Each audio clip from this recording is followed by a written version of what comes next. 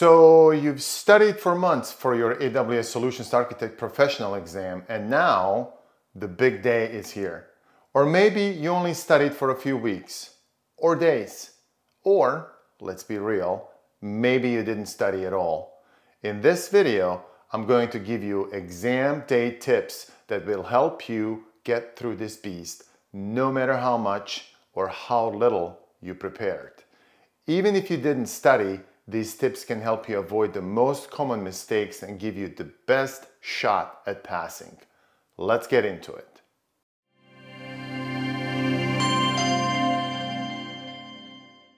Before we dive in, let me be brutally honest with you. If you don't have real AWS experience and you just barely passed the associate level exam by chance, you are not going to pass this exam, period.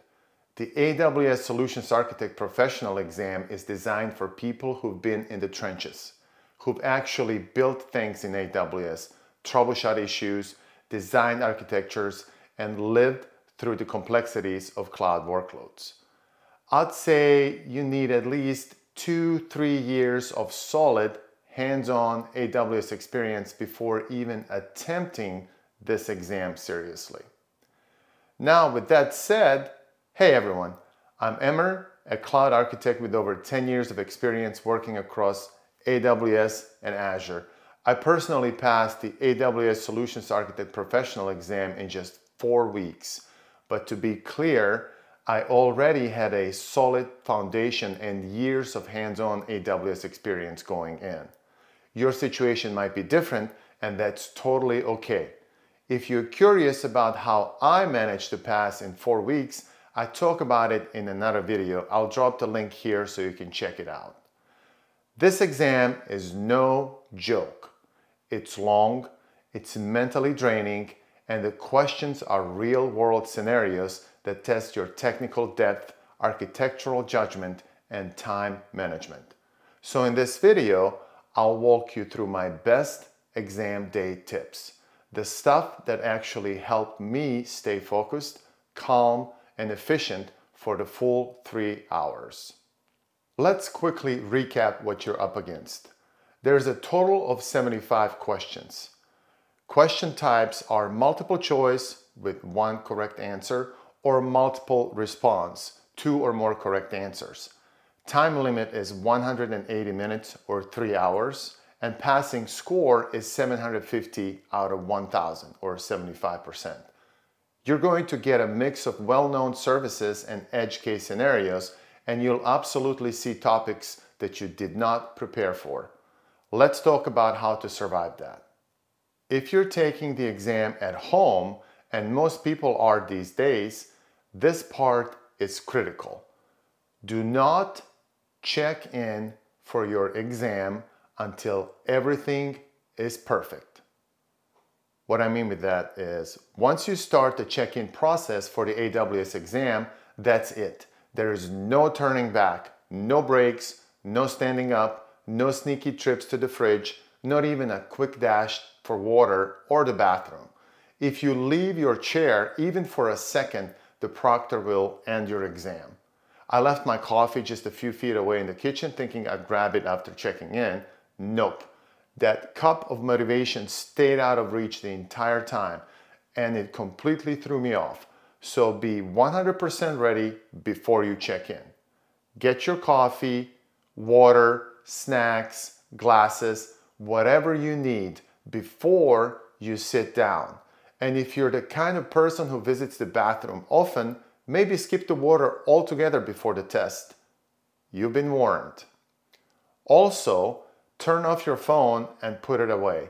Take off your smartwatch if you have one and also put it away. Let your family or roommates know you're going into do not disturb or else mode. And if you have pets, relocate them temporarily unless you want your dog triggering an exam violation or jumping all over you or, you know, want to go play or something. Lock in eliminate every possible distraction, and get ready for a three hour brain marathon. This exam is structured to mess with your head. You'll most likely get hit with some extremely hard questions right up front. Don't panic. This doesn't mean you're failing. It just means the exam is doing what it's supposed to do. It's supposed to rattle you. If the first five or 10 questions are hard, don't lose momentum. There are plenty of manageable questions later.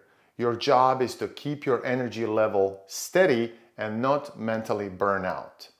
This one made a massive difference for me. Here's how I tackle the 75 questions efficiently. Let's say in scenario A, you've never been or you've never seen this topic before. Don't waste time. Pick what seems like the most logical answer and move on. Do not mark it for review. You probably won't come back to it anyway. Example, a question on a service you literally never touched. Don't dwell, just answer and move on. Scenario B, you're familiar with the topic but unsure of the answer. Eliminate obvious wrong answers. Usually two are easy to discard. Reread the remaining two or however many are the remaining.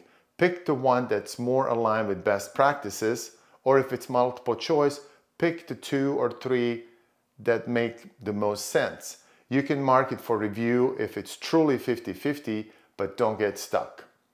And scenario three, you know this topic cold. Answer confidently and move on. No need to mark it, don't overthink it, don't review it. There's gonna be plenty of other questions to review. You do not have time to second guess everything. Just answer and move on. You get three hours for 75 questions. That's roughly 2.4 minutes per question. Here's how I approach time. Easy ones, 30 seconds. Confusing but familiar, one to two minutes. Totally foreign, 10, 20 seconds, answer and go.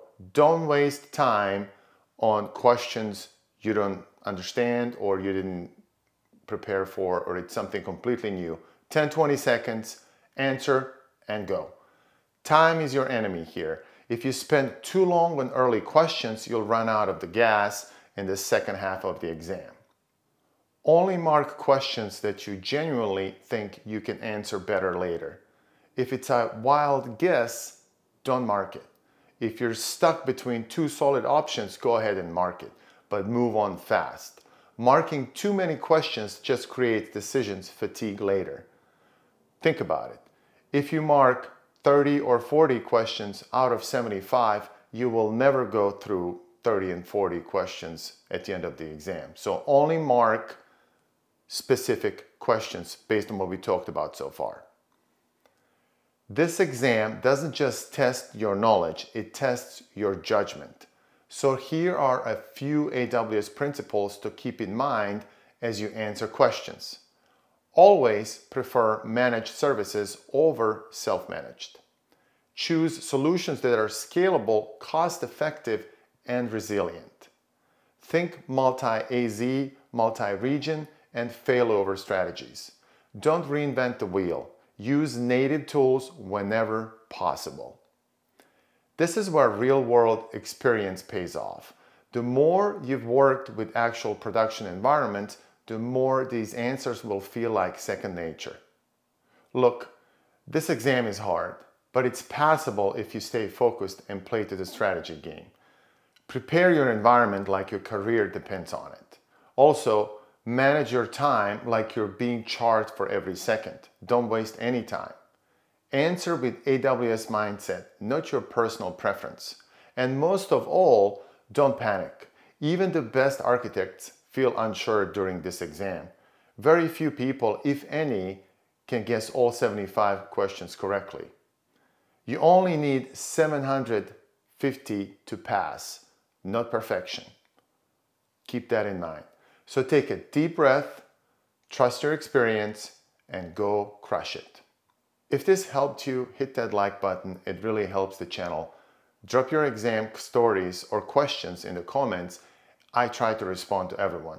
And if you want more real-world AWS tips, cloud career advice, or guidance on passing tough certifications, subscribe and stick around. Thanks for watching and good luck with your exam. You've got this.